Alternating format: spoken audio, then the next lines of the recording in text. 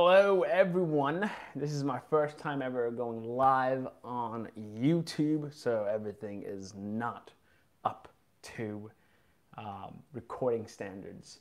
Um, yeah, I mean, we're almost close to that 5K mark, guys. As uh, most of you know, this is more of a hobby for me. I don't get paid to do this.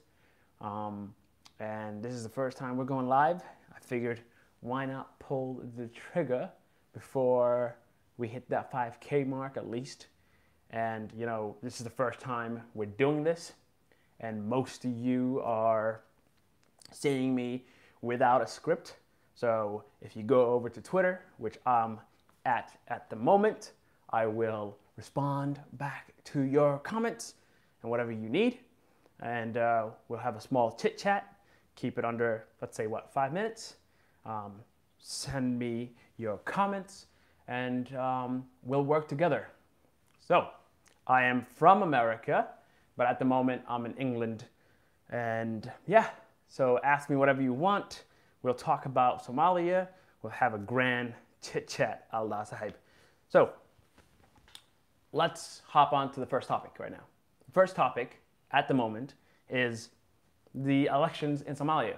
Thank you. Welcome to the UK, bro. I appreciate that. So, most of you can uh, write something. I'll try to read it as fast as I could, and um, we'll move on from there. Let's have a conversation. Well, at the moment, I'm in Birmingham, but I'm going down to London as well. I think not tomorrow, but the weekend, inshallah. Probably a wife. I don't know what that means. As I said, we were going to read this out out loud. Hopefully, you guys don't write any inappropriate things. But let's move on to the topic that I wanted to get to, and that's uh, what the United States Embassy in Mogadishu wrote. And that is, they want the Villa Somalia to hold a meeting, to convey a meeting or convince a meeting in uh, and around with the FGM. Um, I don't know, Wallahi. I don't know if Farmajo is going to uh, I think I personally believe he's going to hold the selection. It's not an election, but I feel like he is going to hold it. You think Farmajo will win? Um, I don't. I don't think he's going to win. Um, will win. I don't. Well, that's your view. I don't. I don't believe that he is going to win. But the embassy in Mogadishu did ask for a meeting with uh, federal member states and federal uh, central government and opposition parties to all come together. But guys, I already commented on this on Twitter. I believe it's a waste of time. No, I, I think it's, it's a waste of time. The meetings that's going to be held. What, what's the point of the meeting? There's no point of holding a meeting. We have tribal men in Somalia. We, they, they're everywhere. They're in uh, Garowe, they're in Mogadishu, they're everywhere. So these people don't want to let go of power. And then you have the speaker or the upper house leader in Somalia, militia, saying, we need to talk about you know, the differences that we're having. We need to have a conversation around that. I don't believe that's the case. I believe that's a complete and waste of everyone's time. So, do I believe Farmajo is going to hold the election on time? Yes. I, at the moment, I believe the president will hold elections at the time it is required. And if he does extend it, I will obviously criticize, but I believe Farmajo is going to stick to the point, and I believe Farmajo is going to hold the election accountable. Now, question is, is he going to steal the election? Is he going to move some, make some moves? Is he going to pay people off? Salam alaikum, brother. Is he going to make some moves? Probably, yes, I think so. He's going to do, but I believe he's going to stick to the time frame? You want a socialist democrat, um, a socialist dictator, dictatorship. No, we don't need a socialist dictatorship. I don't believe in socialist dictatorship. No, I don't believe. No, X Man. I don't believe some Farmajo is at the right path. I believe he's in a wrong path. I believe him and Hassan Sheikh were all. They're all on the same path. These guys are not helping Somalia. We need someone new. We need someone honest to change the country. Farmajo, Hassan Sheikh, Sharif, they're old news. I don't want them. I really don't understand people who support Hassan Sheikh, and I don't understand people who support Farmajo. For me, I'm over here. I believe we need someone new. I believe we need someone to finish the constitution. Somalia needs a constitution. What we have right now are losers. Let's be honest. Farmajo failed. Hassan Sheikh failed. Sharif, you know, he, he has an excuse. But the Hassan Sheikh, Farmajo, they all failed. We need someone new. We need someone courage, courageous enough to finish the constitution. We need someone to tell these regional states that they need to break down the rule of law. A constitution will do that in Somalia. Magarte. I, I believe democracy could flourish in Somalia, yes. Because when you have people with so many different views in Somalia, I feel like democracy is the only way. Because let's say we have a dictatorship. Okay, who's going to dictate Somalia? One guy, one group. Okay, where are they from? Wahal So you're going to piss off the rest of Somalia, excuse my language. But you're going to make other people Bahajiri angry. You don't think that's going to happen? Uh, I do believe if Somaliland is given the space to hold a referendum, an honest referendum, and then I believe Somalia should accept Somaliland's Malaysia referendum and the result, and I believe Somaliland could choose their own path. I believe in that too. I don't believe in this mentality that we have to hold everyone together. If Somaliland and only Somaliland feels like they want to leave, I welcome that. I do a lot. They deserve the best. But I will not accept Somaliland's 1992-1993 referendum. Uh, we need one country, uh, one problem, not two. No, no, uh, I don't. We we don't need one country. We need one peaceful region. I gotta tell you.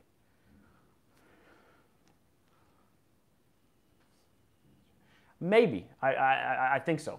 I feel like that might be it. I hate to admit, but it's sad to see Somaliland growing ahead of Somalia. I mean, no, it's not sad to admit. It's true. Somaliland, you have to give them their dues. If they grow, alhamdulillah, Somaliland succeeded, and that's what you want. The idea is, you know, even in our religion, um, you have to be happy for your brother. You can't just say, mm, why are they succeeding without us? No, no, alhamdulillah, you're succeeding. You know, good. Yes, death to 4.5, I agree with that, Sahib. I hate 4.5. Qabil mentality hasn't moved anybody um, anywhere. And do I believe the current structure of Somalia is flawed? Yes the federalism we have right now, waqashin, is, is, is trash. Somalia deserves a better federalism because what we have right now is small issues of Somalia. If you look at Puntland, for example, they're the most um, uh, well-lasting, long-lasting state. Look at it. It's built like Somalia, Puntland. They have same Qabil issues, same problem, and, and, and stagnation when it comes to Mahajri necessary growth. Now, I was looking at stats from Halijri in uh, small towns in America. Small towns in America has a larger government budget than the whole of Somalia. Can you believe that? Yeah, a small town. Let's just say, for example, well, Boston is a big city. That's where I'm from. So Boston has about about 12 billion dollars that they work with a year. Somalia, government budget wise. So when you ask, do I believe, uh, what do you mean? In, in, in, regards to what? Farah, what, do you, what are you talking about? Uh, one Somalia with a strong army is what the country needs. Do you, so you believe one Somalia with a strong army is what Somalia needs? Um, see, we had one Somalia and we had a strong army. Hi, What, what happened? A strong army that, that adheres to the needs of the public is a good thing. Uh, Birmingham is a great place, Sahib. I, I like it. It's uh, obviously England is uh, gray and it's raining today, so, uh, so what can you do? That was that was a communist regime. So what kind of what kind of strong army Somali government do you need? No, no. I, I disagree, Sahib. I truly disagree. Um, I don't. I believe any strong army deal law. Sorry about the Boston budget being 12 billion. It's 3.5 billion. I had to fact check myself because I was like, that's a lot of money for Boston. 3.5 billion dollars is their annual budget. So. Uh, yeah, I mean, um, look, if you look at, for example, uh, North Korea right now, or if you look at uh, uh, not Saudi Arabia, um, uh, Iraq or uh, Libya or, or, Syria, to it, it, you can drag a dictatorship so long. It doesn't matter how long, but yeah, I mean, Somalia would have been amazing if there was if Siad Barre was still president, because he'll still do what he does best, build things by brute force, abuse people. But guess what, Sahib In the end of the day, if you look at Libya, if you look at Syria, if you look at uh, Egypt, it will crash. It doesn't matter if you hold, alhamdulillah, whatever. I mean, I don't, I'm not happy that we had the war, but if we had a problem, I'm happy that it's been way back then, 1991, that it happened, that we don't have civil war now. Imagine having civil war now. That would have been a problem. You know? So now we've seen what happened, we've seen the errors of our Hijri past, and we can fix it. But if, if we're saying, mm, I hope we have, you know, uh, imagine Somalia now, if how did we had the government back then and we didn't have no war. In the end of the day, you would have a collapse of something. And I'm, I'm kind of am glad it happened 20, 30 years ago. But now we are stuck to a lot of problems. Hargeisa or Mogadishu, if you had to choose one. if I had to choose one right now, it'll definitely be Hargeisa um, because it's peaceful, um, it's beautiful. Um, I have friends who are from Hargeisa who do travel uh, there every day, and I do have friends who are from Mogadishu and they travel there too. Um, my parents were born in Mogadishu, so I mean, no, H Town is where it's at, bro. I mean, I don't disagree. So, but I hope that Mahalijri, the issues and problems that Mogadishu is dealing with, and most of you have to understand too, the problems that Mogadishu deal with is dealing with is because it was the hub of everything. Say, the hub of everything. So the hub of development, the hub of Mahajir wealth, that was where everything was in Mahajir Somalia. It was Mogadishu.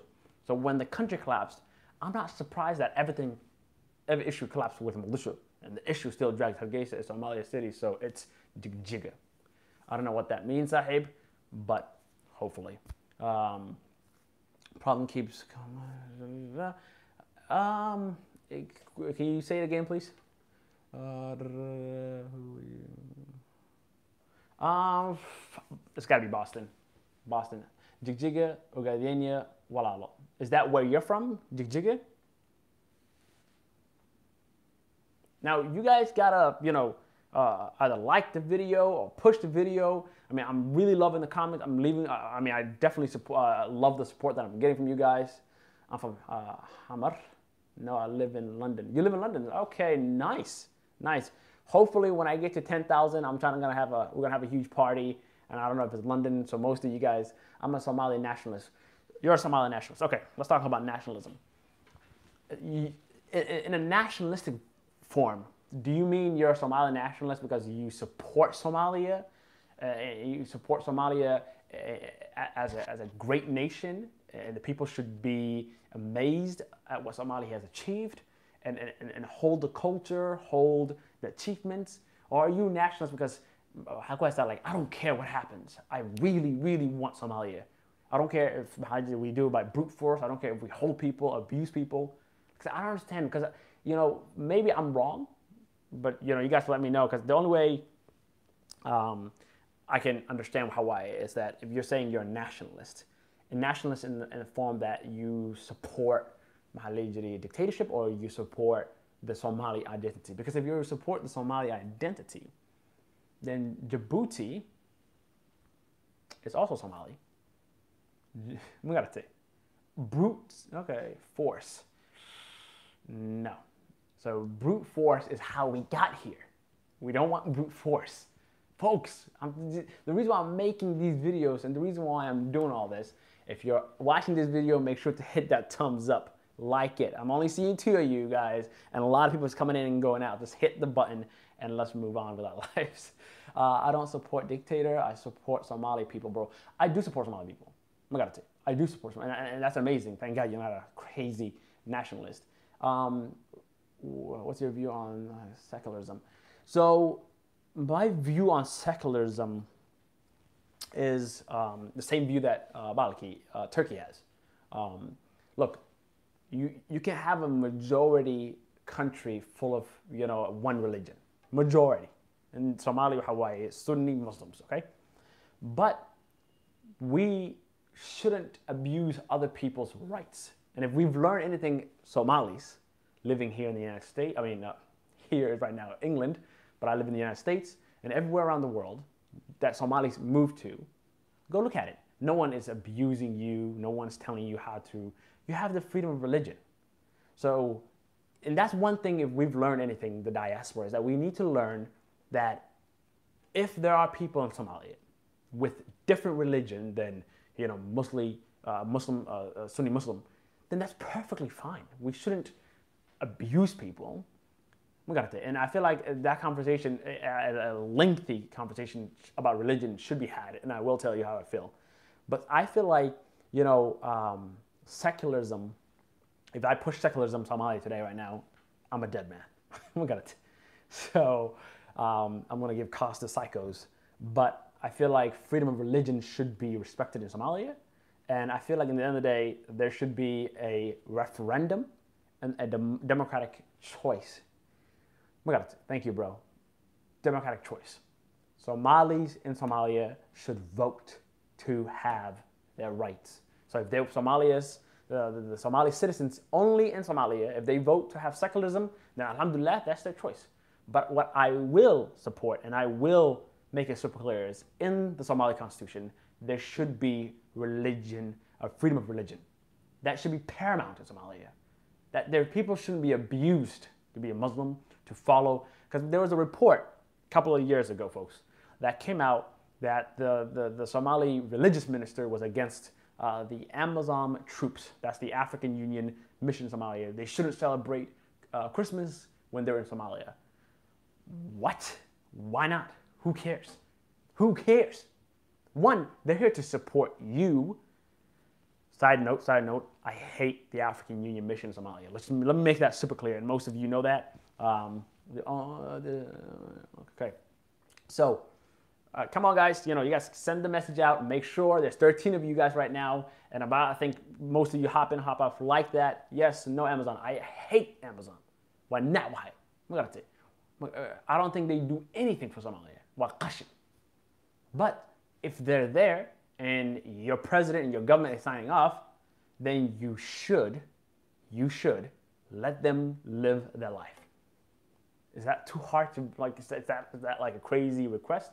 Maybe, maybe. But Somalis need to move on from this primitive standards that we are. And I believe the people in Somalia, I don't, you know, I love my Hajri uh, uh, Somalis in America and you know, diaspora, but in the end of the day, it is the people who live in Somalia who should have these choices. The only thing we can do as the diaspora is advise, you know, talk about things and let them know what's what. We did not, we are, not, as the diaspora, we're not supposed to go to Somalia, take over their jobs, take the money that comes in, and then go back to Europe and America. That's not what we're supposed to do as a diaspora. And I feel like the diaspora overall mission has definitely failed Somalia because I'm seeing flooding, I'm seeing food insecurity, I'm seeing diseases, so many problems. No, they're not. The diaspora, they're, they're not educated. And, and, I'm not trying to insult people because I've, I've been told to, you know, tone down the rhetoric here. I'm not trying to make fun of, like I said, um, uh, uh, you know, uneducated cab drivers or whatever. It's not. It's not why. It's not. I'm not even trying to be. Uh, I'm not trying to insult people. But we don't need uneducated Europeans, Somalis, and American Somalis in diaspora going back to Somalia and acting like the only thing I got, the only thing I got, and I think um, mine's over here. One sec. Let me, I'm gonna bring it out. So this is the only thing they got. I got, folks. This is the only thing the, the diaspora got. This is it. That's it. This is what they have. Oh, I, I, I held I can be a president of Somalia. I can be a prime minister. This is this is my my universal credit right here. This is this is what I got. I should be a leader in Somalia.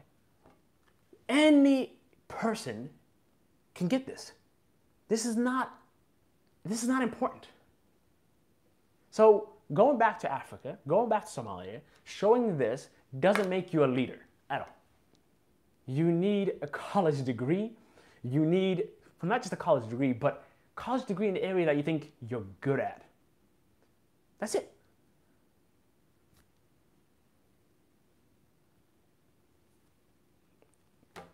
The only one. Yeah, agree. I definitely 100% agree. I feel like we do, Sahib. I feel like we do need an association. I feel like we need, uh, I know there's uh, Snappy, there's Somali professionals who are, um, I don't know if they're in Europe, but they are in America. I've have been to their, um, I think their first ever meeting in Minneapolis uh, about professionalism. Uh, you have accountants, doctors, you have executives who are Somalis. You got you got nurses, you got professional Somalis. But you know what? The issue how we can't, you know, the issue Hawaii, the the, the uh, mainly odayaal, okay, in Hawaro aan la kamaadeen. Magarat, they run to Somalia, they screw up the name of the diaspora, right? and then they, they, they push their own view. I don't know. I don't believe anyone in Somalia can ever try. If I come to Somalia, if I come to Mogadishu, all right, tomorrow, let's say that, and I want to run for Somalia, let's say I want to be the president, and I want to, you know, look, I, you know, I have an accounting degree. I'm an accountant, um, but I also, uh, you know, I've learned, I have definitely have classes. Yes, one nation, one people under God. No one has issues with that. Yes. But have you seen your one nation, one country under God and how it's acting? They don't act like one nation, one God. No. If we all acted like a true Muslim in Somalia, I wouldn't be seeing uh, uh, uh, a child rapist and then old, disgusting men running to support the rapists because we have to support the guy. That's not a religion, sahib. That's qashin. You need to start waking up. People are here defending rapists. Instead of, if you follow the religion, then that rapist deserves to get killed, get arrested, whatever, not to be defended. Okay, sahib, I, I, I'm sick and tired of people just, it's like, it's like, it's like, you know, the issue we have here in America is that, you know, you have Black Lives Matters, then you have people running to you saying all life matters. Okay, well, if all life matters, then we wouldn't be having this notion of Black Life Matters, correct? Let's move on, because I hate people who run around pushing religion, and then they obviously don't see the injustice that's happening within the country. I don't believe, yeah, I don't, I really don't think they're unified because they're all sick in the head at the end of the day. They are. Kawil, I feel like we need a massive, massive, massive mental health um, institution in Somalia. The biggest government facility should be mental health in Somalia. Inshallah, sahib. Inshallah. Okay, we follow. yeah, we do. Um, again, this is not to disrespect uh, religion. This is not to disrespect uh, anyone. It's just, it's, it's sad and it's pretty pathetic seeing people going around pushing religion and then when you look back, you see rapists, murderers, killers running loose. And then you think, no, no, no, no, no. No, no, no. You, have, you know, oh, the actually, you know, these, these old religious, you know, moral men will come and talk about, you know, Somalia. Nope, they run to you like, yeah, who's the, who is he? What tribe is he? Oh, he's, you know, tribe B. Mm, tribe B, yeah. Okay, then, then, then waxaa la siiyaa ma garanaya bismillah alhamdulillah let's just forget about it you know la siinaya you know a couple of them got say camels and we're done with it so what are you saying we're supporting the man. We love this tribal man, you know. what I mean, yeah, he could be a rapist, but you know, he's, our, he's from our tribe. It's sick, man. Yes. one culture, two religions, waxa the true religion and the unknown psychotic maxaa manifesto religion ay But let's get back to the productive conversation. I hate when I get sidelined by negative maxaa comments. So, at the end of the day, we need to change the diaspora. We need to have, like you said, my friend, we need to have a SYL uh, version, uh, and, and we need to move forward. Mental health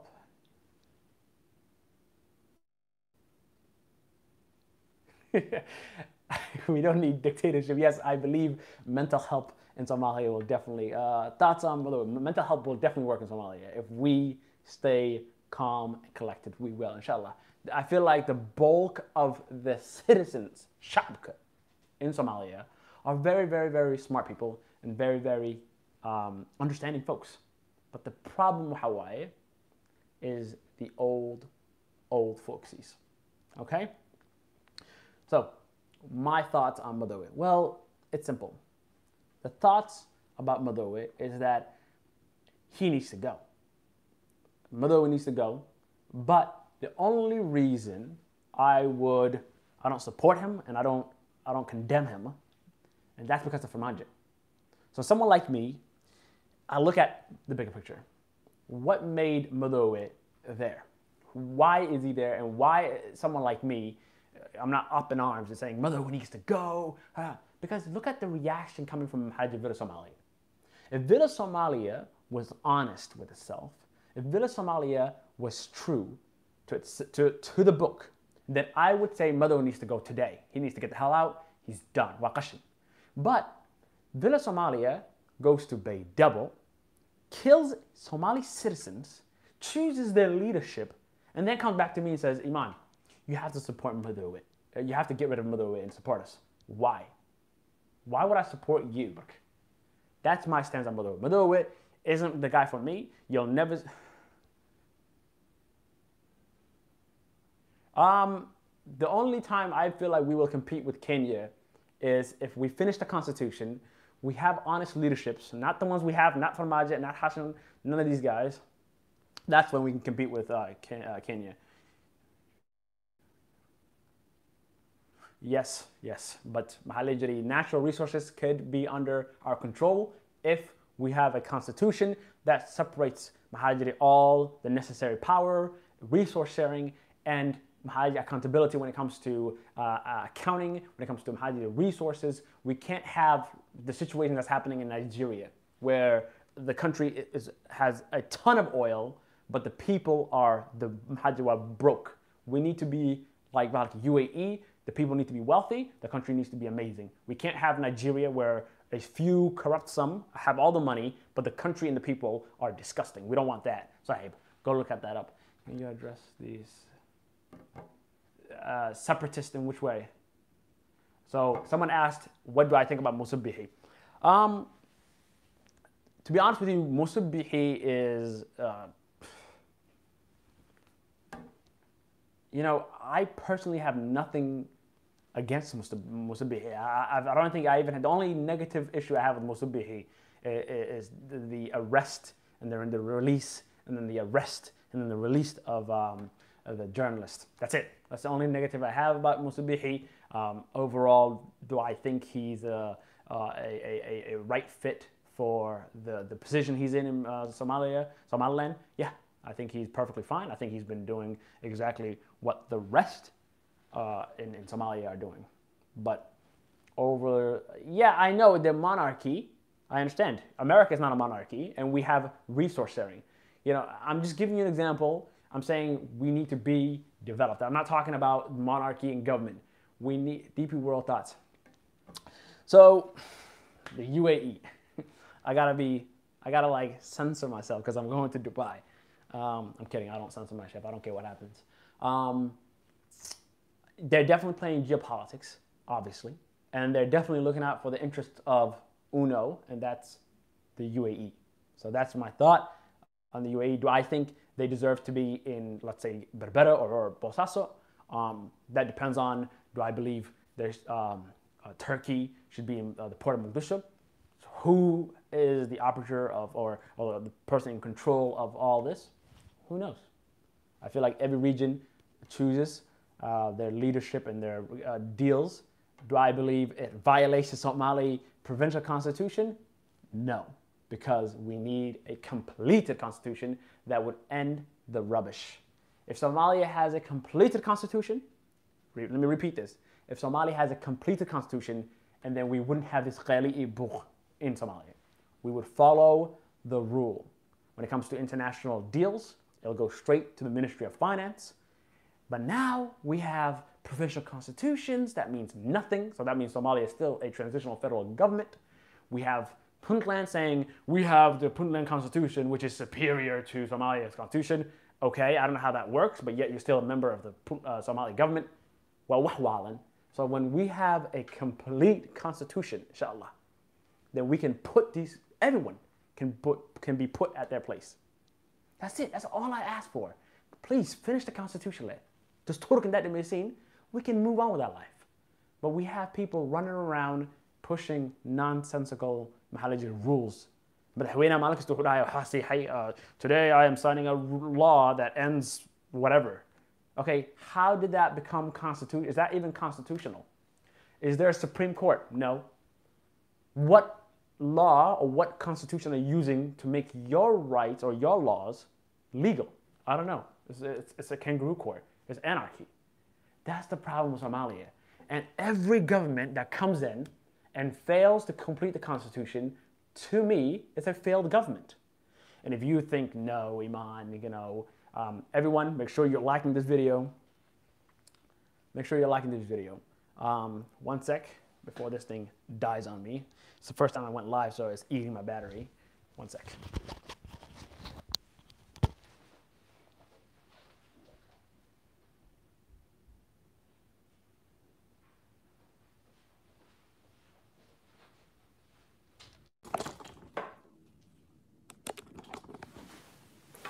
Okay, folks, we are back.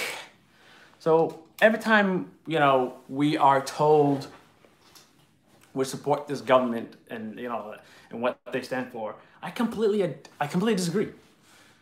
When we finish the Constitution, folks, inshallah, when we have a completed Constitution, come back to me and see what I do. Because if someone comes in to me and says, Iman, Ahmed Madobe or Ahmed Adde, whatever comes in, Somalia, and he's violating this, this, and that, and he's doing this, this is exactly what I'm going to do. I'm going to respond to your comments one sec. This is what I'm going to do. I'm to look at the Constitution of Somalia because that's what an educated, simple, but yet clear paper would have, right? Constitution. You look at it, okay. Okay, Ahmed Madobe or Ahmed Adde is violating the Constitution of Somalia. So he is wrong. But Dastur La'an, we don't have a Dastur, we don't have a constitution, and we're expected to what? Choose a side on who's right and who's wrong? Come on. If Somalia wants to succeed, it needs to follow basic rules and laws. Okay, thoughts on uh, ONL, uh, ONLF. I feel like they have failed. I'm sorry to say that. Uh, I did definitely supported the, the organization, but from the looks of it right now, they failed because they went for Mr. Abiy Ahmed, who could care less about Somalis. That's a generation of uneducated people. What makes you think, oh, in, in what, in what regards?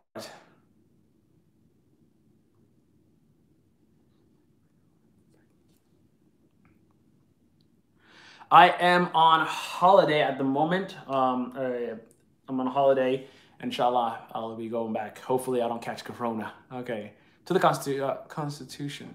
Um, I understand what Hadith I definitely understand, but look at Somalis. I'm going. I'm going to give you an example in Somalis here in Europe and America. They, you know, they came from Somalia, from a war-torn country, and they came to the United States. They came to America, and guess what? They follow the speed limit. They follow the rules. They pay their bills and they're scared of the law because the law doesn't see qabilka tahayyo, landel ma tahayyo, langal ma tahayyo. They don't qabilka doesn't there's no qabil because scared the, the cops don't give you a ticket. If you don't pay your bills, we all are scared. We're gonna know because if you don't follow the rules, you're gonna be under the law. And what happens? They're gonna throw the book at you. and they're gonna follow basic articles on the uh, the rules, and you're gonna you're gonna get hit. So Somalis, that's Somali kulabana, inshallah, and we have a Supreme Court, we have I'm gonna say county courts, uh, uh, and uh, appeal courts, we have jails, we have independent legal system. Guess what? Somalis will definitely follow the rules. That's it. That's my belief. Somalis, uh, Okay.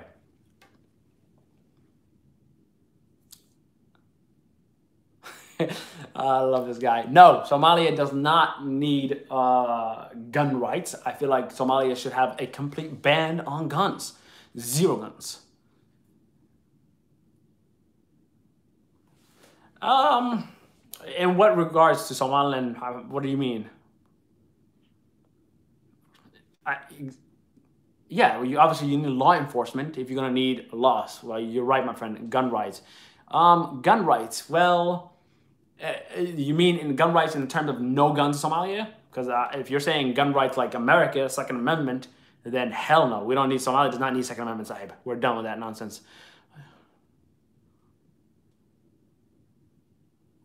No, I disagree. Okay, so Somalia does not need gun rights. We, we need abolishments. We don't need guns at all. What, what is this? We need to be ready for war with Ethiopia. No. how did Look, if you have, if you, Somalia needs a uh, mandatory um, conscription for the troops, right? So every 18 year old for two years, four years, he or she will go to the uh, military, train, and allegedly serve their country those two to four year term. Like Singapore, Israel, everywhere, everywhere else in the world. And then if the boogeyman Ethiopia ever tries to invade Somalia, the people are well trained and they are reserved and they can defend their country. Okay? Just like, you know, Switzerland, you don't need to have every Hawa and Haji and Umar with AK-47. Because guess what, folks? They're gonna start killing people. Um, hell no to what? I'm sorry, I'm confused. Is Ethiopia tried it in 2006, bro. I mean, I I, I understand how did Ethiopia um, in 2006. I mean, the 2006 issue is is a uh, a a major failure of the Abdullahi Yusuf administration. Major failure. He should never ever have welcomed the uh, Ethiopians. Unfair Western economy. Well, that can only change if we work together. The Western countries won't lose you if you are not looking the other way. Because if I'm looking at right now in Twitter, you have all these Western countries talking about Somalia. Oh, Somalia should do this and Somalia do that. But I guarantee you, if any country talks about America's internal political issues, let's say Russia, China talks about George, uh, about Trump and Joe Biden, you can't get involved in our internal politics. What I am, they will. They're gonna start writing Hajj sanctions. How dare you? Uh, America does not like people talking about its internal political affairs. So why is America talking about other people's internal political affairs? Because you, Somalia, and any other country chose to open your door to them. So they, they do whatever they want. no, the UK does it too, Sahib. The UK does it too. Okay.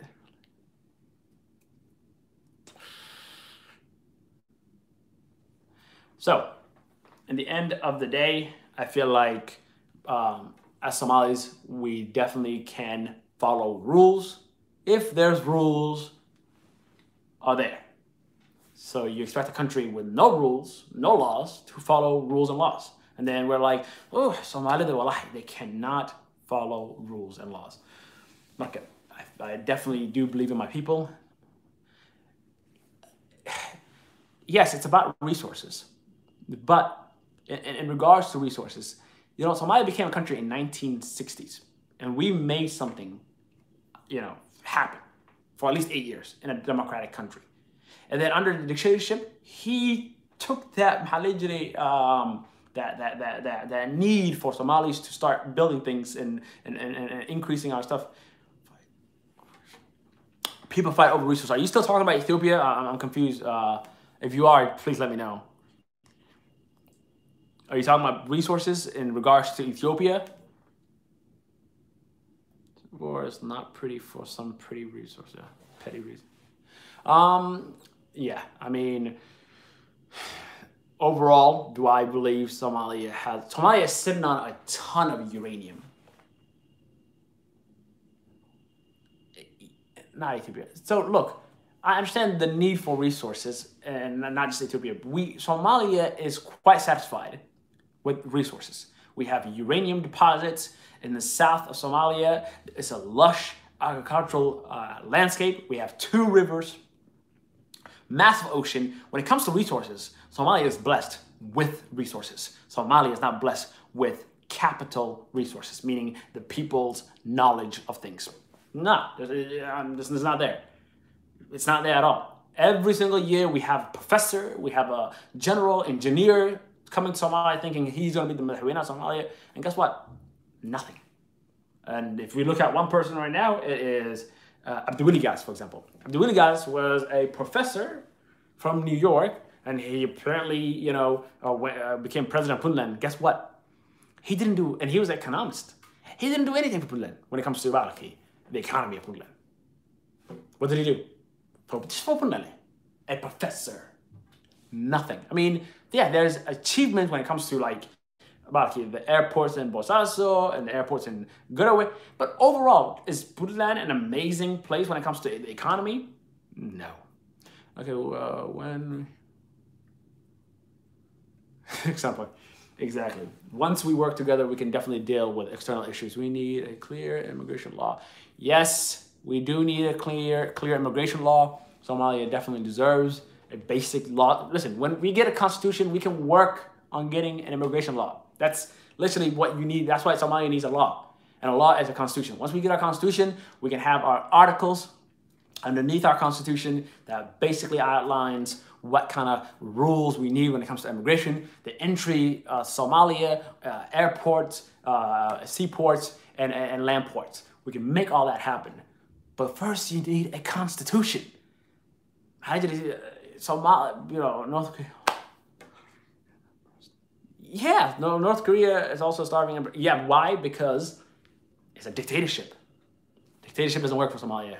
Whoever supports it. Ah, uh, no, no, no, no, no, no, no, no, no, Sahib. Hell no. We are not following the Saudi model. Hell no. Hell no. And, and, and the risk of being chopped up in some random Halijiri uh, embassy. I don't like Saudi Arabia's model. That's my point. And as most of you who follow uh, current affairs in the world, I don't believe uh, what the Crown Prince uh, Salman is doing in Saudi Arabia would lead up to a successful um, method in Saudi Arabia. Saudi Arabia, if you know the way the monarchy works there, it's by uh, the oldest son, and then it'll, it's like a weird circulate, which is an amazing system. It works so well for Saudi Arabia. But what this guy is doing, the Prince uh, Salman, is he's destroying all that and he's pushing himself to the top. So how long will that last? That's on them. Um, the only thing I care about at the moment is the the uh, Mecca Medina. May hopefully that nothing happens there. Whatever happens to the rest of Saudi Arabia is none of my damn business. You can take that to the crown prince. Uh, I mean, in regards to Saudi Arabia, the people doing good. You mean?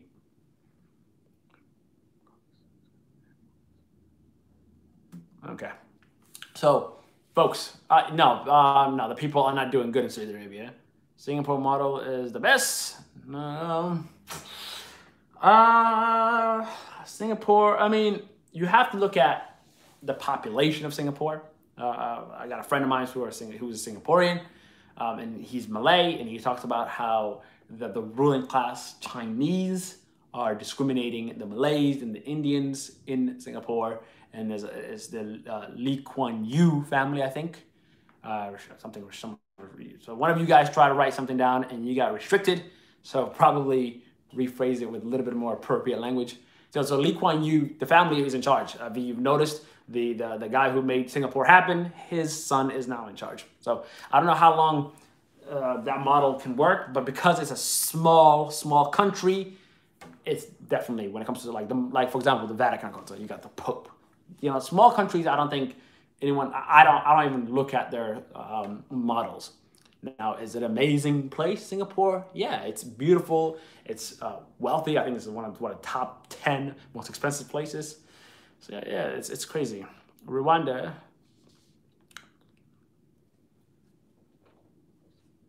So Rwanda, um, again, how long? How long does Rwanda have? I mean, I, I personally, um, when it comes to social issues, uh, when it comes to the continent, I definitely support uh, the President Kagame. But how long uh, is Rwanda going to survive with with Kagame? You know, so I just don't understand this this mentality that only one man will lead us. It needs to be a system, and it needs to be a culture. So how does Europe survive this this long? How does you know why is America like this for 200 years? Because, excuse me, it's the system, folks. It is the system. So, do I believe Somaliland will unite? If you're visiting, welcome. This is the first time ever going live, and I believe you should hit that like button and stick around. Make sure you're uh, over at Twitter and you're following me. But let's go back to uh, Somaliland. Um, if Somaliland, to be honest with you, Somaliland, in the end goal, I don't, I don't believe Somaliland wants to succeed, uh, uh, succeed, because I feel like Somaliland is egging for a major power sharing um, uh, reward, because there's so many other people within Somaliland the, the, the British Somaliland Protectorate map that doesn't want to join the, the, the Hargeisa-based government. That's my understanding. So what they're trying to do by holding off is to have a stronger negotiating position with Mogadishu and then pushing for either a permanent president, uh, like let's say we want to be, Somaliland wants to be uh, the president and Somalia can be the prime minister, or some, the prime ministership can change around, but the presidency can always, it should always be with uh, Somaliland, and the, the so Somaliland is definitely pushing for uh, a position. Now, if Somaliland breaks off with the other uh, people within the protectorate and says we want to succeed, then yeah, I think Bahaji they're definitely leaving a heartbeat if that's what they did, but they don't want that. I don't believe from the conversations I've had with so many uh, lenders.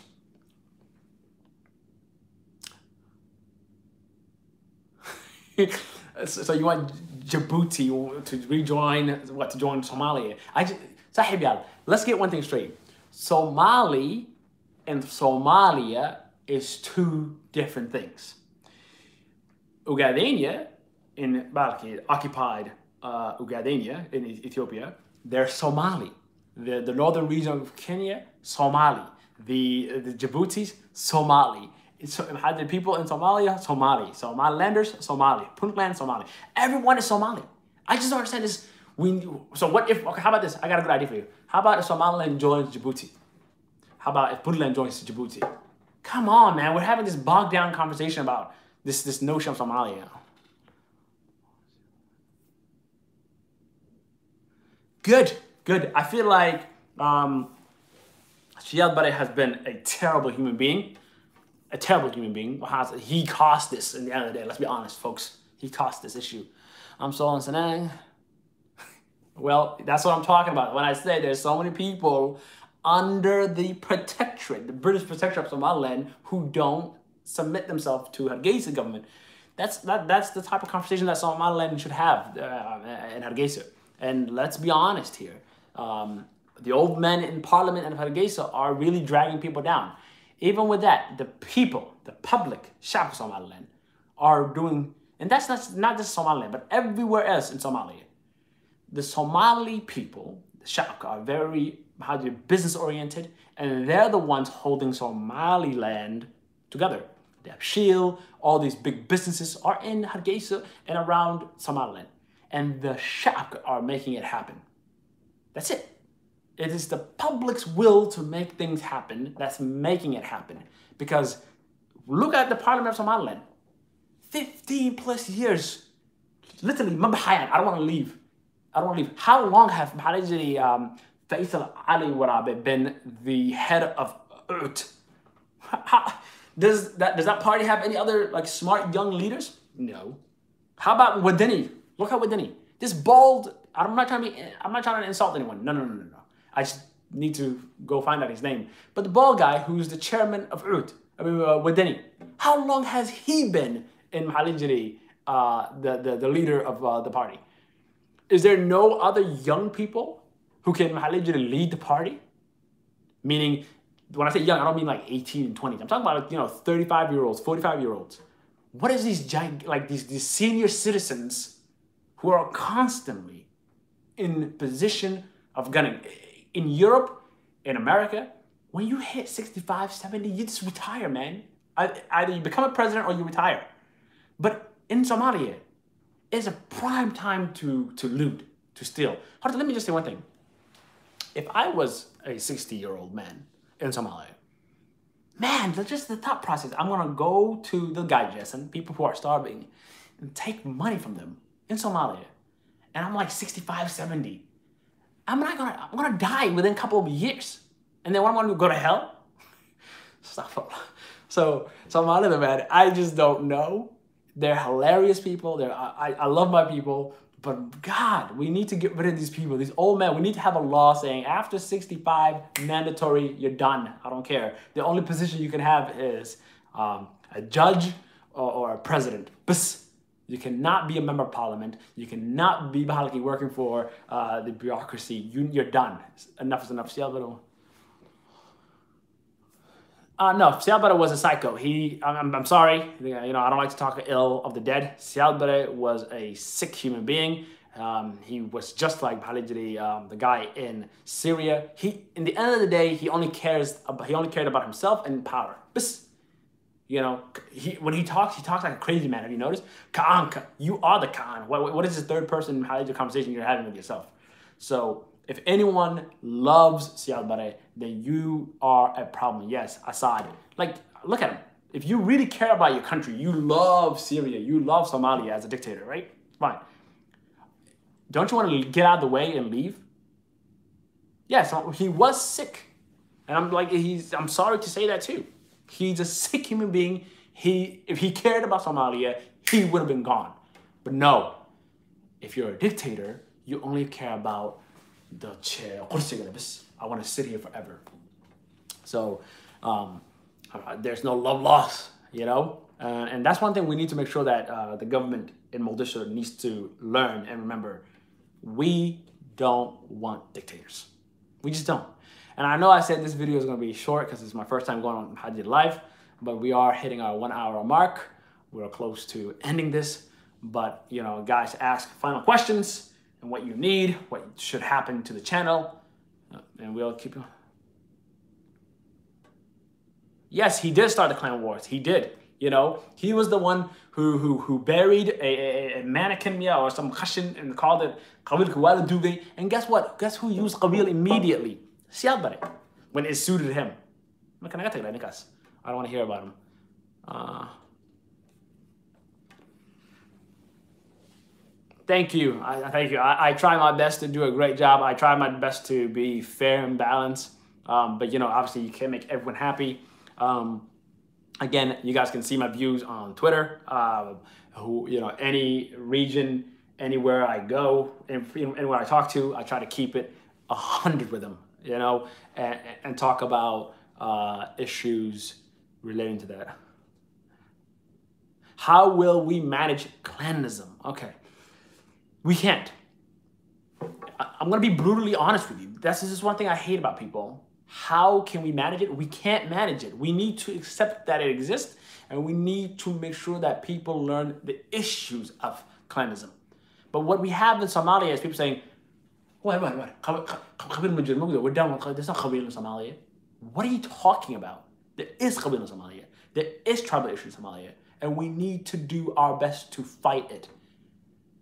But if we try to ignore it, and we try to act like it doesn't exist, then that's where the disease continues to flourish, my friends. So, tribalism, you know, the identity of tribe shouldn't be used in a negative fashion. There, and I'm sorry to use names. I'm gonna drop some real names. I'm gonna drop some real names, yeah? If you if you use tribes for your end means, then that's what well, you're done for. So let me give you some example. You can be Darot, you can be Hawiyut, you can be Isaaq, you can be anything you want. And this is the first time I'm using that stuff right now, live on Hajj YouTube. You can use all the Qabils on earth. Be whoever you want to be. But the issue, you can tell, like, where's the problem? The problem is if you come and say, oh, you're heavy, yeah, you can't have this job. That's the problem. Oh, you're a sak, you can't have this shaqqa. Oh, you're darad. No, get, get out of here. Leave, leave. Oh, you're another tribe. Ah, oh, Okay, now let's look at Europe and America. Imagine you're Somali and you go to a job in the US and someone says, Oh, you're black. Go, get out of here. Get out of here. You're not getting the job. I mean, they do it in a subtle, subtle, quiet, sophisticated way. But imagine that though. Imagine you're a black person in America, Somali, and you want to get a job, you have the degree, you want to be a lawyer, and they say, Get out of here. You're not going to be a lawyer, you black ass. Sorry, you black person. That's exactly the same thing. That is exactly the same thing in Somalia. So, just like they're trying their best, uh, failing, but we need to fight back. We need to stop. You can, you know, saying we can't talk about Qabil is like trying to hide the issue. No, show the issue clearly. You can talk about Qabil. You just can't be a Qabilist. There's a difference. There's a difference. You can talk about racism. That doesn't make you a racist. You can talk about, you know, uh, um, you know, uh, issues related to, you know, anything. But that doesn't make you a phob, you know, a phobic. You can talk about Islam without being Islamophobic. You know, there's a lot of issues. So you can talk about Qabil, you can be a Qabil, but saying, nigga, if you're happy about your Qabil and you're going around saying, I'm proud to be Halijri Darot, or I'm proud to be a Saq, okay, good luck, Sahib. You uh, you got issues that needs to be dealt with. You got major problems that you need to fix. You gotta fix yourself. You gotta fix your face and go away. That's it. But the question of how I do it is the government. If the government comes in and says, you know what, man, um, we've we let's say Som- Somaliland joins Somalia and, and, everything is fine, right? And let's say some guy in you know somewhere in Hargeisa, in Mogadishu says, you know what, you're a Sak, Mm, you know, you guys were part of that separatist, unionist, separatist movement. You're not gonna get a job.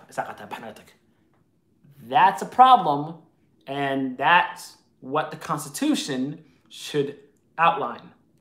Tribalism in the in the form of halal when it comes to employment, in the form when it comes to anything related to wealth, government, anything, when it comes to anything of the sort, should be forbidden. Period. Period. Now, obviously, some Somalida, because they're psychotic people, and I they know it's like you know, some you know, I was, I think I was in Minneapolis, and I was talking to someone, and then he immediately, for some weird reason, got what I am. I never told him, never saw this guy. He doesn't know me. He's an old dude, so he never he doesn't watch my videos. But he, he's like, you're this and that, and then he's like, mm, you did, and I'm like, what the hell's going on here? And then another guy, so what I'm saying is Somalis will always know who you are, regardless, you know. So if you hear Hargeisa, you're automatically thinking, ooh, majority Balki, it sucks. If you hear Muqdisho, you're thinking, mm, you're thinking Balki Hawiya. If you hear Balki Garowe and Bulan, you MJs, you know, Darot, same thing. But it should be illegal if anyone from any of these regions apply for a job and anyone asks their tribe but because they don't have to ask their tribe because it's implicit, then what they do is they should be another set of rules, a quota. Period. One, you need to have your qualifications in education, and two, to make sure that everything and everyone is taken care of fairly. I know it's very hard and it's tough, and uh, you know we have to climb, but it's just how it needs to be for a better Somalia. We got it. So that's what we need to focus on. That's what we need to work on. Do I think Somalia and Somaliland could come together as one country? Make sure you're hitting the like button, folks. Good job. Damn, you got so fast. Um, I believe they can come together. They can come together because they have come together. They've done it before. And guess what, folks? Let me be blunt honest with you now. Somaliland before joined Somalia, and guess what? Saks and Hawiye and Darod and all these things, all this it existed before 1960s. And what? We fought hard to get rid of the European occupiers. And now I'm here occupying their land. but we've oh god, you know, mental mental holiday entertainment. We fought hard to get rid of the European occupiers. We did. And guess what? Saks, Darod, Kuli, we all came together. Now, do I believe we can come together again and work together without tribal needs? I believe so. I know so. But I know I'm not occupying, I'm just visiting and I'll leave. Um, something they forgot to do. Um, but I believe we can, Mahalijiri, come together as different people we are. But do I support Somaliland joining Somalia today without a constitution? That's a hell no. Somaliland shouldn't even have a conversation with Somalia until Somalia has a clear Mahaliti constitution that Somaliland can look at and say, hmm, this we can get up, we, we can join this country. We can we can join these people. Why would I, if I was from, from Somaliland, join Somalia today? Just give me one reason why I go ahead, you guys comment. Tell me one reason why I should join Somaliland, uh, Somalia today. And I'm from Somaliland, for example. I'm not, but let's say I'm from Somaliland. Why should I join Somalia? Come on. Nationalism? Nationalism. What the hell does nationalism mean? No, no, give me something great, Sahib. Give me something great. I don't want to hear this nationalistic nonsense. Give me something. Okay, I like that. Together is better. Yes, okay, good job. good job. You came back. That's nice. Yes, so together is better. But, but that's still not it, is it? Yes, benefits. Yeah, okay, okay. I like it. Now we're talking revenue. We're talking like staying um. Okay. Well, look, the whole thing is gone. Whoever believes, uh, some guy said, someone said, I don't know if you're a girl or a guy, I apologize. Someone said, oh, if one piece leaves, what makes you think the whole pie or the whole thing will break apart? Um, great, great. I love it. But guess what? What makes you think Somalia right now is united? Let's just be honest right now. Who believes right now Somalia is united? I want to go ahead. I want to see comments. Do you guys believe Somalia right now is united? If you do, let me know. Who believes right now Somalia is united? Thank you. No, not at all. Because if they were, then that means Puntland would listen to Mogadishu, Hargeisa would listen to Mogadishu, Jubaland will listen to Mogadishu. Everyone will listen to the uh, uh, the Mogadishu government, right? Exactly. Somalia is not united right now. So I don't want to hear the notion, oh, Somalia united. We're not there. So the idea that we're going to claim and clench onto, uh, no, too many foreigners are there mainly because of our own undoing. Foreigners don't, listen, let me give you a, a, a, something, humanity first. Foreigners don't care about Somalia. If Somalia succeed, they don't care. If Somalia fails, they don't care. Foreigners don't care about Somalia. I don't know why we have this notion that foreigners cares about Somalia. Somalia could they don't uh, they could care less. On the contrary, they love the status quo. They love the status quo. They love this We gotta take. So Somalia is not united right now. We don't have a united Somalia. But we get back to the point of why Somalia. I believe, that's my belief, you guys have your belief. I believe Somaliland at this junction shouldn't negotiate or speak to Somalia. And Somaliland should also make it a precondition, even though I hate preconditions, but should make it a precondition that until Somalia could have a completed constitution, a completed constitution, that they can see how they would treat the people who chose to be united with Somalia. We're not having a conversation. That's my point. At it.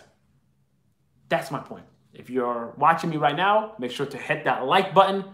Make sure to subscribe. We need to hit, we need to go over the uh, uh, 4,000, no, the 5K mark.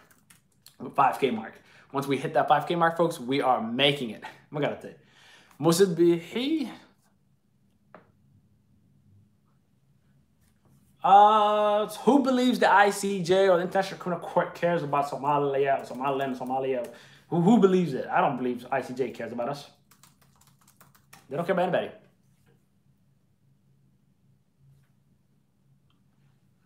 Folks, I don't, I don't, I don't believe it. I just don't. So let me get back to the Somaliland. Uh, do I believe they're going to join? Let me just finish that up. Somaliland will be an important contribution to the whole of Somalia. Yeah, granted, we know that. And I would love to see my Somalilanders helping out with uh, investment, infrastructure projects, um, amazing landscape in Somaliland that for tourism, you know, the, and continuing the, the, the title that we have the longest coastline in the African continent. Yes, God, I don't like seeing us break apart.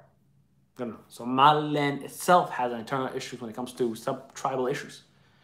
The issue with Somalia and Somaliland was. Right? Who disagrees? Everyone in Hargeisa, everyone in uh, everyone in Somaliland, the issue between us is how did the dictator Siad Barre and what he, he has done to Hargeisa. No one I will never discount that. But guess what? Siad Barre is dead. I'm not, you know, so I'll say Ilahi naxariisto. But let Ilahi deal with him. The guy is dead. The guy is dust in the ground somewhere in Nigeria. I'm gonna name Aluge. He's dead. So why are we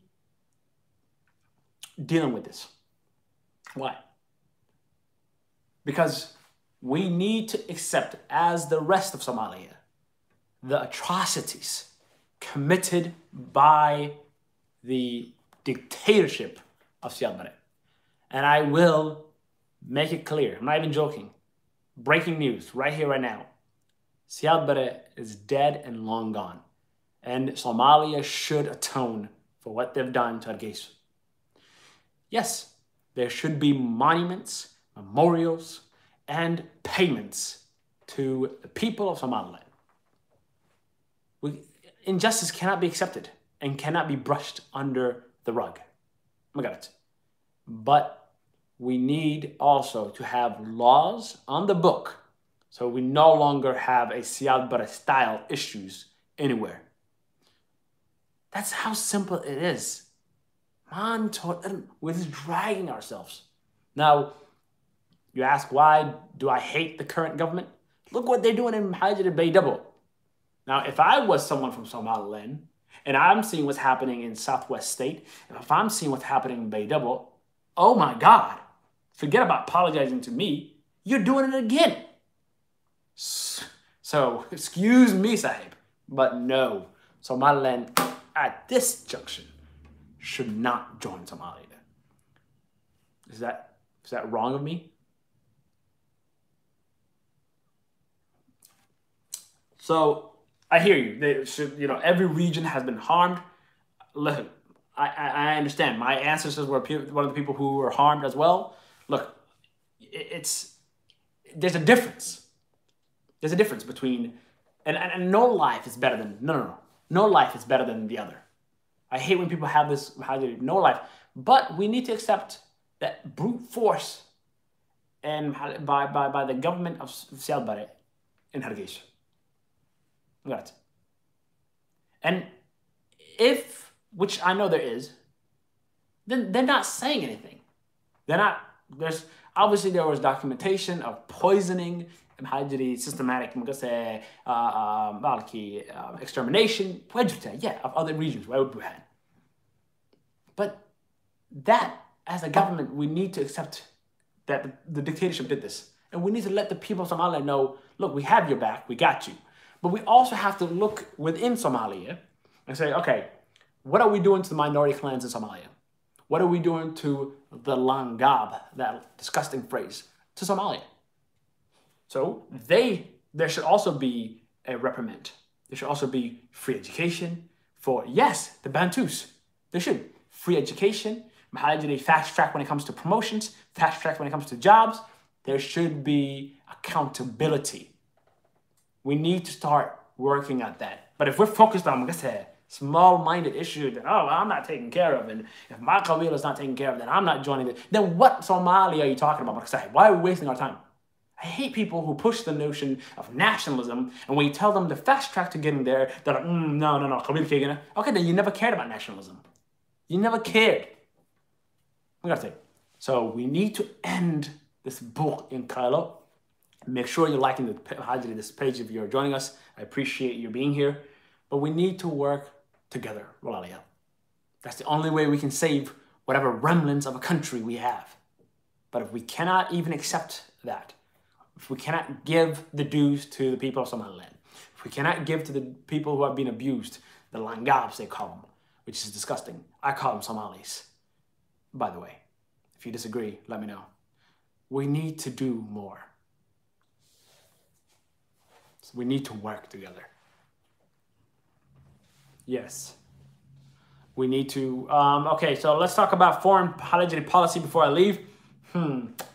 You guys might not like this, most of you might, but effective immediately, the completed constitution should also make it clear that Somalia will no longer be part of the Arab League and the African Union. Somalia should also reduce its footprint around the world, only work with those countries we see fit when it comes to economic and social growth. That's it. We have no time for joining all these nonsensical Mahalijra organizations. Enough is enough. Um, we know the United Nations, even though I don't like them, we should stay with the United Nations because we need to be somewhat relevant in the international stage. We, if we cannot use them as to our benefits, make sure you like this uh, video. If we cannot use them to our benefits, there's no reason why we should stick around. The Arab League to me completely is useless. Um, even if you believe you're Somali and you're Arab, Sahib, the Arab League is useless uh, effective immediately. We can have bilateral trade and bilateral cooperation with Arab states, obviously, and we will always be uh, friends with our Muslim Arab brothers and sisters in the Arab world, but we should not be part of the Arab League. Effective immediately, a new government that comes in should look deeply into reducing our footprint with this conglomerate of useless organizations and immediately withdraw from nonsensical rules of engagement when it comes to um, uh, UN charters and stuff. It has nothing to do with us. It doesn't benefit us. Um, now come to uh, free trade zones pushed by the East African countries like Ethiopia. Somalia should immediately withdraw from the African Union and only have bilateral deals with Ethiopia, Kenya, and the countries that we see fit. We don't need to join free trade unions or open border policies. No, Sahib in that regards, we need to be more like Switzerland or Iceland. We do not need to join all these nonsensical organizations. Somalia needs to look after itself. And I'm not saying Somalia first, like here in the United States with President Donald Trump and his racist point of view, but Somalia should be prioritized by Somalis. At the moment, we are under heavy debts and we're using uh, loans from different countries and organization, and to do what? To have embassies everywhere, join nonsense Mahalijiri uh, parties and groups, and pay Mahalijiri some oday that came out of nowhere, require what am I getting? خلونا بحالتين Oh, okay. Um, mm, embassy in Turkmenistan قاعد. Or oh, you know what? How about you Somalia's embassy in Maliki?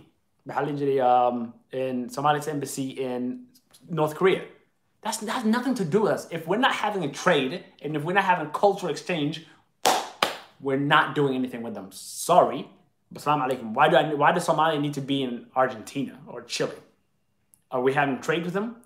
Are they sending us biomahalajiri um, technology when it comes to medicine and all that stuff? No. Okay, then, Sahib. Um, uh, see you later. There's no reason why Somalia should be part of any of that. Uh, should, um, exactly.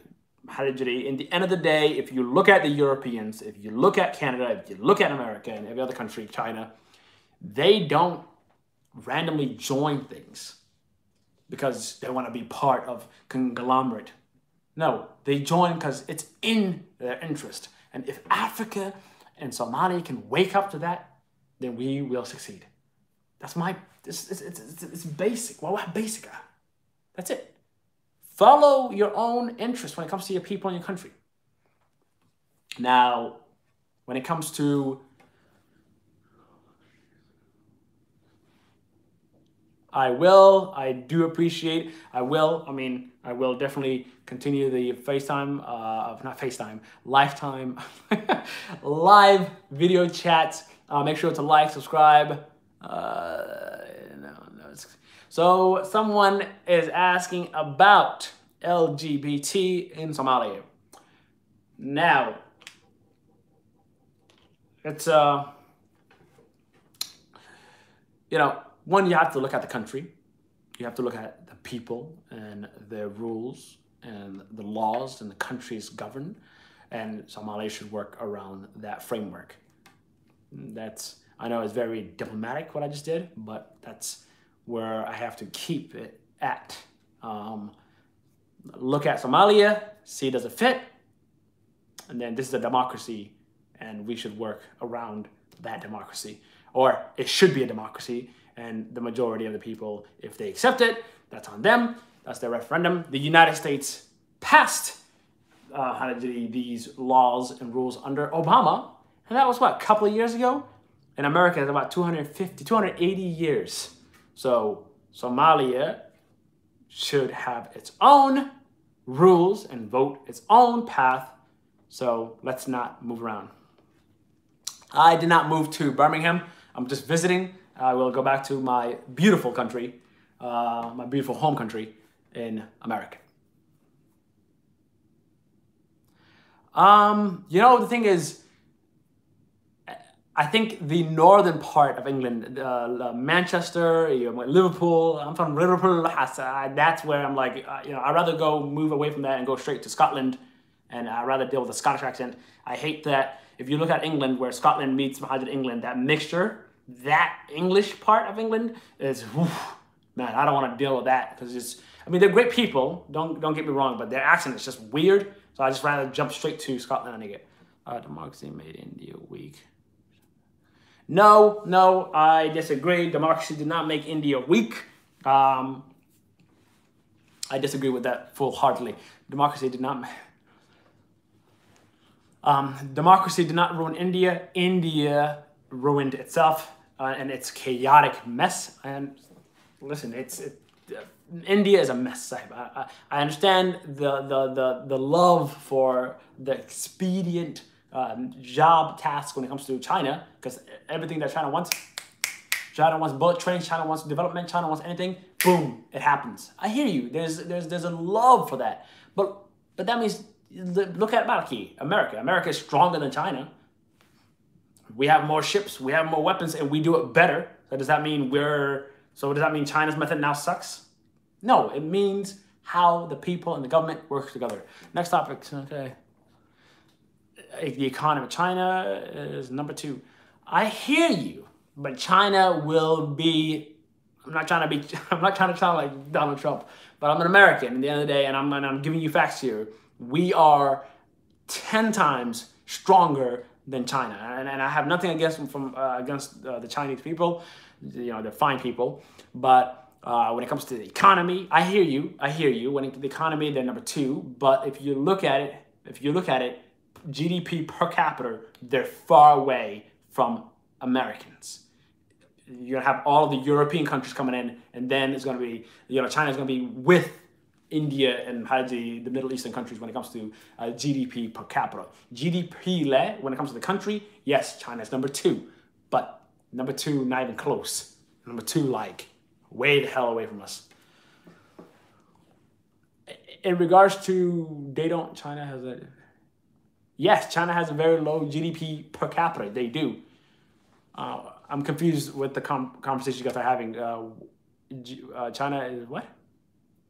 Guys, make sure to like this video and and to ask questions, and inshallah, I'll definitely do my best.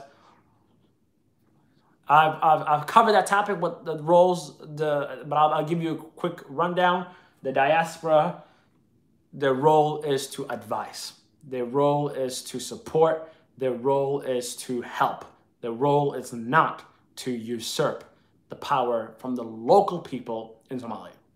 If you have an idea, if you have a plan, you should do just that. Furthermore, furthermore, there should be a law. There should be a law. And guess what? This is to hurt me too. I'm the guy, I'm the American here. This is to hurt me. There should be a law that bans foreign nationals holding this passport and any other passport in Somalia from high office. You can't be a senator, you can't be a member of parliament, and you can't be the president and the prime minister of a country when you hold another passport. Period. So there should be that. But guess what? Because Somalia doesn't have a constitution, it's a la. It's a la la land. Anyone can do whatever they want. So, I think I hope I've answered most of everyone's questions. I think um, it was a great experience. Uh, I definitely appreciate everyone here. I really do. Um, make sure to subscribe to the channel. Uh, uh um, not to sound like uh, a conspiracy theorist, but did Farmajo ever talk about him giving up his passport? No. Did Farmajo come out um, the foreign minister of Somalia come out and talk about it. No, it was a tweet from Halijiri, one of the the government accounts, saying he no longer has a passport. I've never seen Farmajo, and if he's if he look, Farmajo, he's done one thing. He's done one great thing. He has made the media, uh, when it comes to Maliki uh, promotions, he's done a great job. Farmajo, I think, is better than any Somali president when it comes to propaganda and social media. The guy and his government is everywhere. Qaeda, all of them, they're great. Let me, first of all, let me give a due to their government. They, they know how to use social media better than me. So when it comes to that, they know what to do. But tell me one time the president of the camera the Mustab administration came out and said, as the president of Somalia, I've no longer, I'm not, I'm no longer a Balaki, an American. Tell me one time. I want to see one video. That's it. Uh, he did not help our people bring back from foreign prison. I'm not trying to uh, denigrate. I love the back and forth conversation. I really do love it. He did not bring back Somalis. It was the UN, Mahajiri, uh, UN uh, agencies that brought back uh, I know Somali. I, I know this government likes to take credit for everything. Everything. I'm gonna say they do. They love taking credit for everything. And whenever something is wrong with Somalia, they like to toss it back. Like, oh, we have nothing to do with that and in the committee. So it's either for Farmajo is taking credit for everything, or he's taking credit for certain things. Let me give you a friend that I follow here on Twitter. He was talking about the election. Uh, he said when for from so he's he's he's quoting this guy. He says the guy. This is the guy I disagree with. Um, uh, Sharki, whatever. He's, he's he's in Twitter. He said Somalia will never surrender Jubaland to Kenya and let her annex it through installing her puppet uh, as president so long as it breathes. Okay, that's his view. Okay, and then the other guy, which I support, said when UNSOM talks about when UNSOM talks about uh, when UNSOM talks to Farmajo about election, it's called interference. How about when they talk about debt relief in, the, uh, in Twitter? That's a victory for Nabad iyo Nolol. So, folks, you can see that that's the issue with the Somali government. Whenever it comes to, whenever it comes to to progress and achievements, and whatever when they agree with it, it's a great thing. Wow, what a you know we've done we've done an amazing thing. But whenever there's a negative comment, it's not not a company. It's not us. We have nothing to do with this. We don't care about these people, and that's at the end of the day the issue with this government. I just can't. I, I definitely appreciate my friend all the way from Toronto. I love Toronto. I've visited Toronto. Um, I don't know what happened. Uh, you guys, you have to update me on the uh, why the the Black Chief was is quitting or whatever. But overall, Toronto is an amazing place, um, and Drake is okay.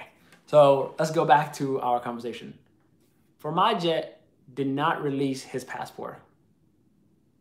Uh, yeah, I will never release my Qabil information. Go ask Otiasha because apparently they know my Qabil. I am doing my, oh, I am definitely doing my best to stay safe, bro. I appreciate it. Thank you. So, at the end of the day, guys, Farmajo didn't, Farmajo never said he released his citizenship. His goons out there said that they have, he has released his citizenship. So for my jet, he could have Farmajo used it as a campaign. We'll see. But he's going to lose this February. Come February, Farmajo is gone. And guess where he's to go back? He's to go back to his nice little town in America called Buffalo, New York. And he's still to be American because he never released his citizenship.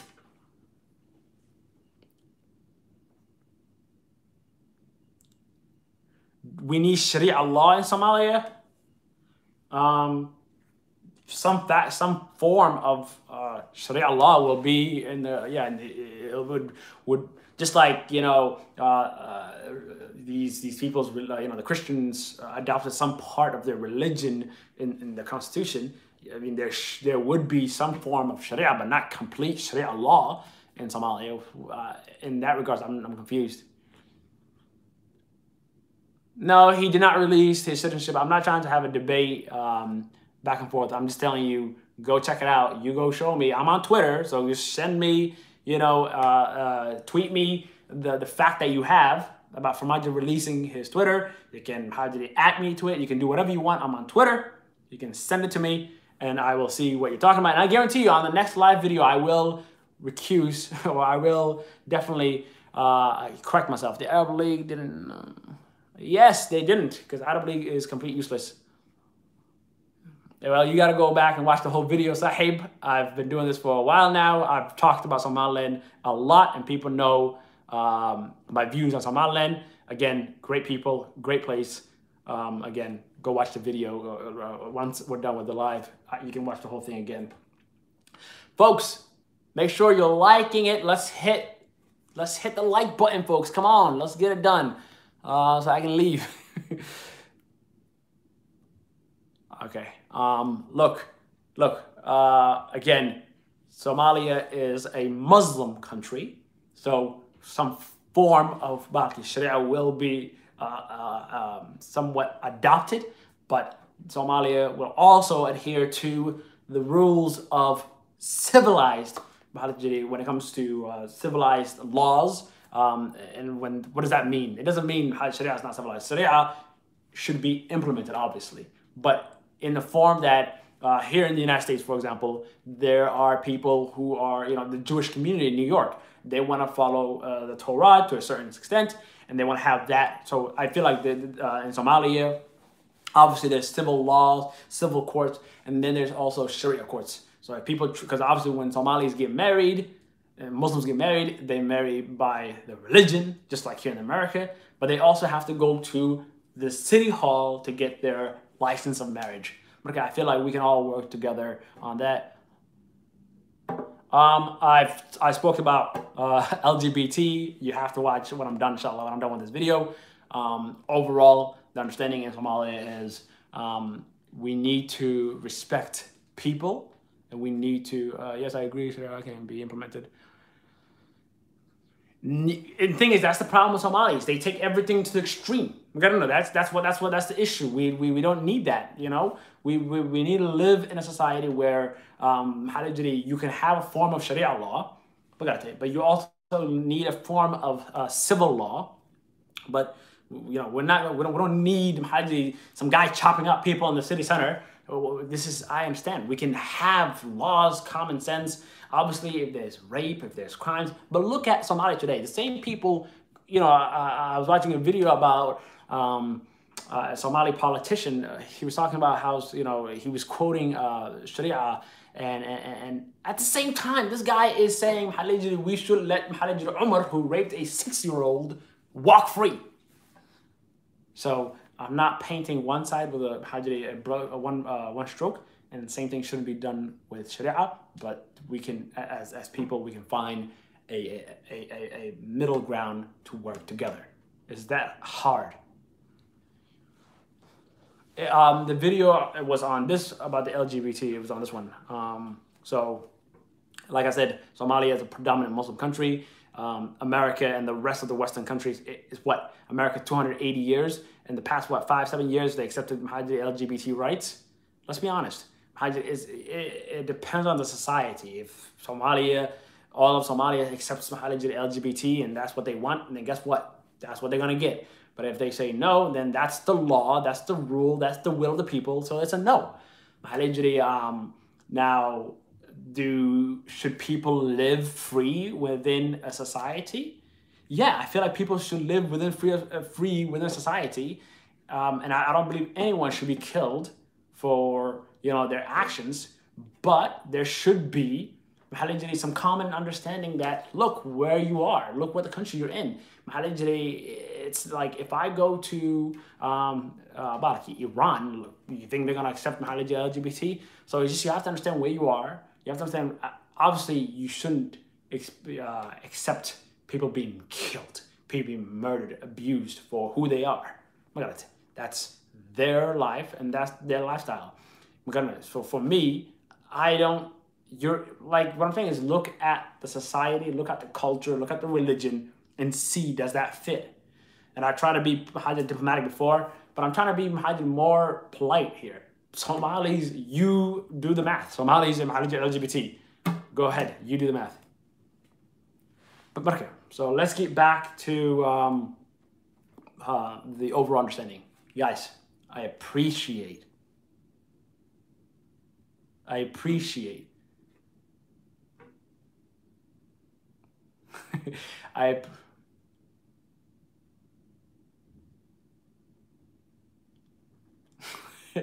so you think Khalid Pulla is going to declare independence?